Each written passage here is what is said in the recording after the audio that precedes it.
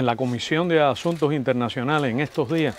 se han debatido eh, varios temas. Uno de ellos ha sido precisamente el resultado de las giras presidenciales, que han sido intensas desde el 2022, pero muy concentradas en eh, la solución de los problemas que graban nuestra economía, que afectan a nuestra población. Ha sido una constante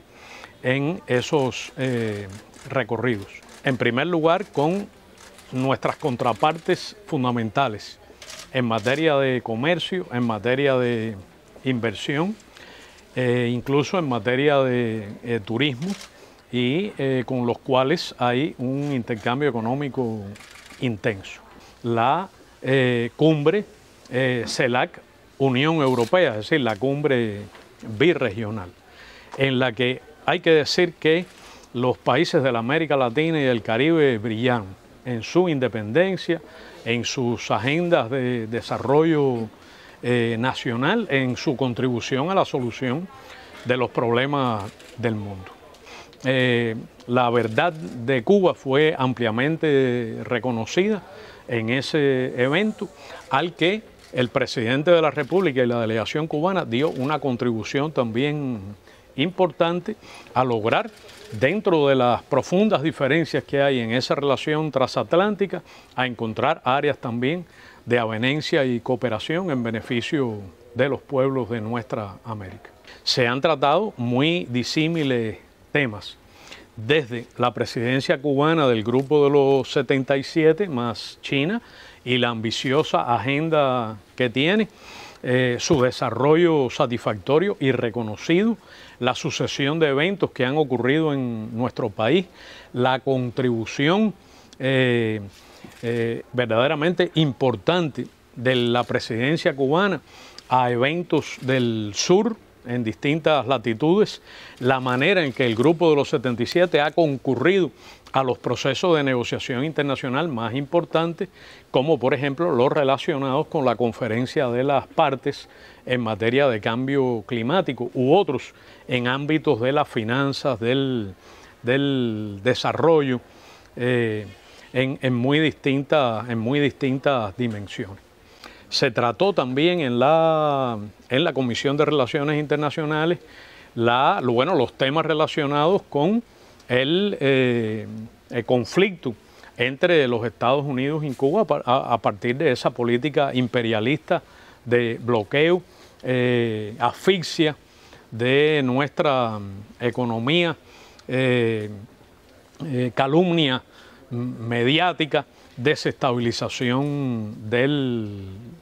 y al mismo tiempo se advirtieron elementos positivos en la relación de Cuba con muy amplios sectores de la sociedad eh, estadounidense. Y la comisión parlamentaria, por supuesto, consideró elementos principales de eh, la política exterior en ese, en ese ámbito. Fue significativa también la consideración del tema de los cubanos residentes en el exterior en sus distintas dimensiones, desde la emigración cubana hasta los cubanos que van y vienen, que permanecen un tiempo, trabajan, regresan, eh, eh, en esa circularidad que hoy caracteriza estos, estos ámbitos significativos. Es una cumbre indispensable en medio de la crisis económica y multidimensional que está ocurriendo a escala planetaria,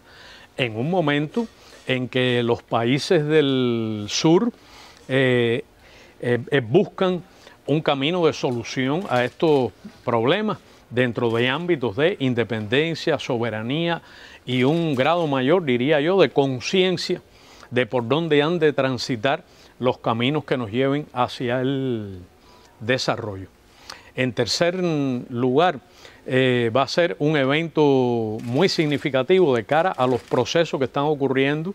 a escala mundial y van a dotar a los países del sur de estrategia en ese, en ese orden. Va a preceder esta cumbre eventos muy importantes como algunos eventos de máximo nivel que van a ocurrir en eh, los inicios, en el segmento de alto nivel de la Asamblea General de, las Naciones Unidas, a continuación mm, apenas horas después en, en la sede de las Naciones Unidas. Y van también a aportar visiones muy importantes para la actuación del grupo en eh, la cumbre que precede a la conferencia de las partes de cambio climático, la, la COP28, y otros eventos eh, muy significativos que van a ocurrir después, como una cumbre del grupo de, del movimiento de países no alineados y una cumbre del grupo de los 77. Yo recalcaría que va a ser una cumbre muy austera desde el punto de vista mm, económico, financiero, que va a ser cálida y hospitalaria en los brazos de, de nuestro pueblo, que va a ser muy oportuna de cara a los procesos de, que están ocurriendo a escala internacional después de la pandemia y después de, la situación de, crisis multidimensional que está ocurriendo en el, en el mundo. Va a ser una cumbre también que va a dotar a los países del sur de estrategias eh, precisamente para encontrar su camino hacia el desarrollo. Y estoy seguro que va a ser una cumbre muy austera, una cumbre modesta, pero que va a dejar bases y huellas importantes para el grupo de los 77 más China y en general para los países en desarrollo.